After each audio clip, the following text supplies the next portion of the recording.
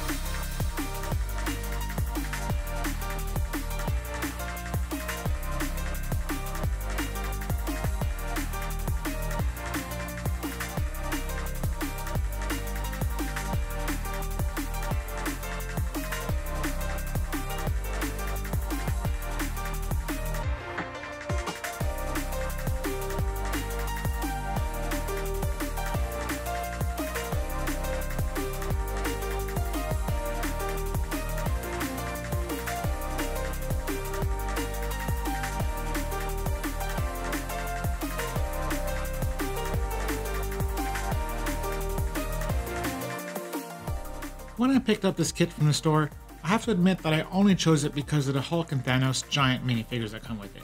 I really wanted to add them to collection, and I didn't see a whole lot of value in the rest of the kit. But that's because this kit wasn't made for me. I'm easily drawn in by the collector and display kits out there. But now that I've built it, I can see that there's so many interactive components to this kit that it'll inspire the active imagination to many, many hours of joyful playtime. Starting with the garage, we've got this yellow and black barrier that goes up and down, the garage door which opens and closes, a satellite dish which rotates all the way around, and a pair of twin stud shooters mounted on top. And just on the side, we have the door where the minifigures would enter and exit the garage, and a nice assortment of tools which are all set for whatever vehicle maintenance or repair that is required. Which brings us to the first floor of the next section, the vault where they have Thanos' glove locked away. Over in the front, we have a door that's secured with a combination key lock, and as we swing around to the back, we can see the glove is securely locked away behind some kind of laser security system. But if the glove is what you desire, there's a little tab on the side that you can pull on to gain access. And as you can see, it's currently equipped with the green and purple Infinity Stones. Moving on up to the second floor, we have a little meeting room that's got seating for three. And should the unforeseen happen, lifting up the table, we have a set of emergency weapons. And to access this meeting room, we have a high security rotating door off on the side. Mounted on the roof above that, we have a twin laser cannon, with projectiles that are a little bit stronger than the stud shooters mounted above the garage. And then we come to the vehicles. For starters, we have this little Jeep, with seating for one, and then whoever wants to stand in the back can man the stud shooters. And then we come to the helicopter, with only seating for one, but does have a rapid fire 6 stud shooter in the front.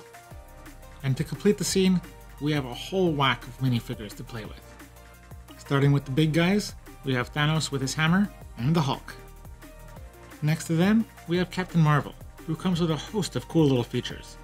First, she's got these little fire blasts coming out of her feet as if she's flying around, these two big energy projectiles coming out of her hands, and you can switch those up for these little fire fists, which are kind of fun. And then we have Iron Man with his hand mounted projectiles, Nebula, an Outrider, and a tiny little Ant Man.